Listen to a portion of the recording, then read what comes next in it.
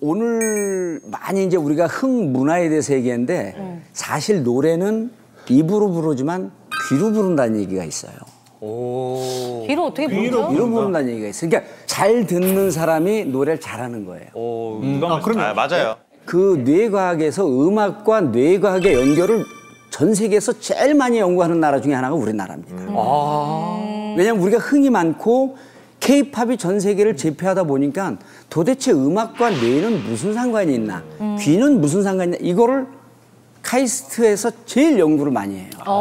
예. 근데 자 나이가 들면서 트로트를 좋아하잖아요.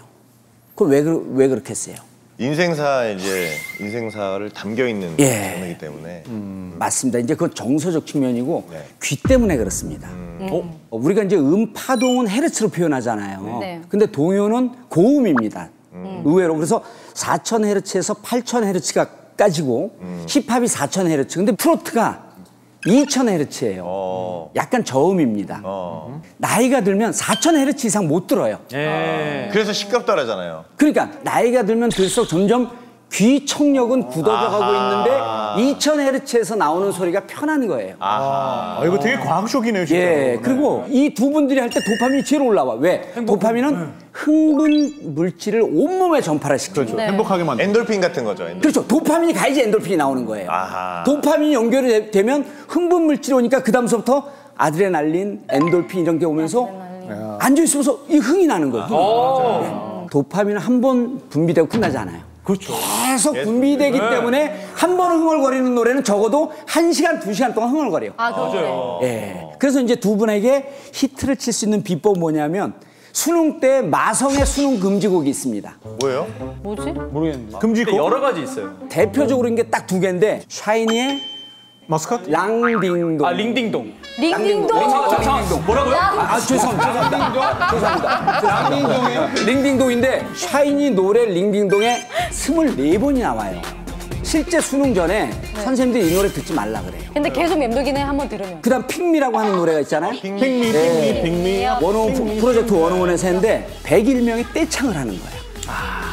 떼창을 하는데 수능을 볼 때 4분을 풀고 있는데 핑미 핑미 핑미 핑미 이러고 있어요. 아, 머릿속에 맴돌아. 예, 그래서 뇌는 반복적인 음절에 반응을 한다. 맞아. 그래서 히트곡을 만들고 싶으면 음을 반복하는 걸. 맞아요, 맞아요. 마지막으로 우리 귀 노래를 듣는 많은 분들에게 이제 고령화 시대잖아요. 어, 귀가 잘 안 들리면 네.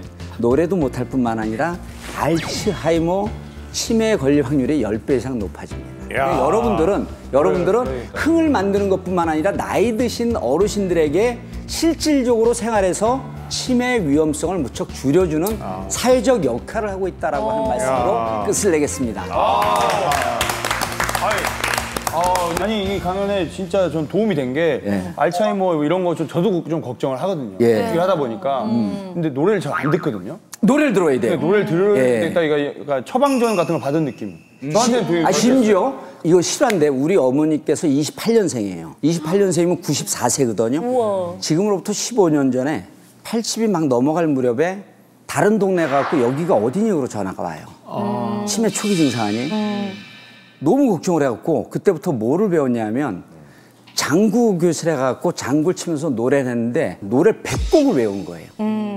지금 정신이 너무 막습니다. 예. 그래서 많은 문화교실에서 노인 어르신들에게 노래 교, 육을 시키는 맞아, 게 맞아, 맞아. 치매 치료뿐만 아니라 삶의 활력을 만들어내는데 최고네. 근데 그분들이 가장 선호하는 게 트로트입니다. 이번에 노래가 생존에 필요한 거네요. 그렇죠.